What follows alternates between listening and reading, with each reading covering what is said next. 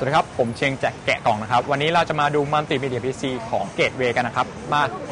Gateway ZX 2 3 0เรามาดูกันที่สเปคภายนอกกันเลยดีกว่า Windows ที่แถมให้มาคือเป็น Windows XP Home Edition นะครับ ส่วน CPU เป็น AMD Athlon 2650E processor ส่วน RAM ก็เป็น RAM 1 GB 2อ่า DDR2 นะครับ แล้วก็ฮาร์ดดิสก์แถมให้มาคือ 160 GB หน้าจอที่ให้มาก็คือ 8.5 นิ้ว แล้วก็มี multimedia card reader อยู่ข้างหลังนะครับ แล้วก็ใน PC ตัวนี้เนี่ยมี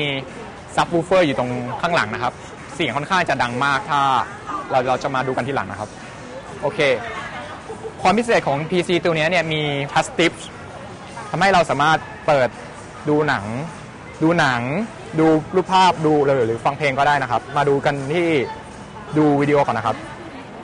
โอเค เสร็จแล้วเราก็เลือกวิดีโอ แล้วกดเพย์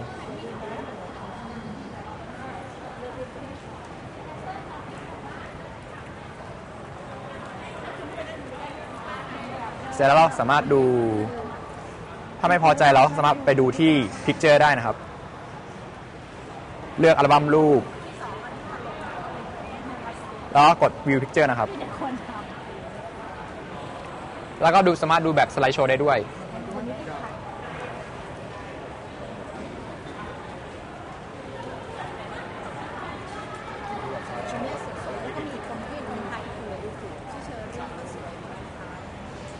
เสร็จแล้วเราก็สามารถปุ๊บมาฟังเพลงกันได้เราเลือกเพลงนะครับแล้วก็กดเพลย์เสียงที่ได้เนี่ย ค่อนข้างจะดังมากนะครับ ดังและดีด้วย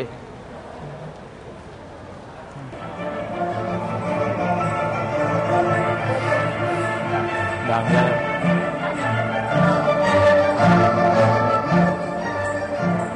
เคครับ วันนี้ผมขอจบไปกับการแกะกล่องเจ้า Gateway Multimedia PC ZX 2 3 0 ผมเชียงจากแกะกล่องครับ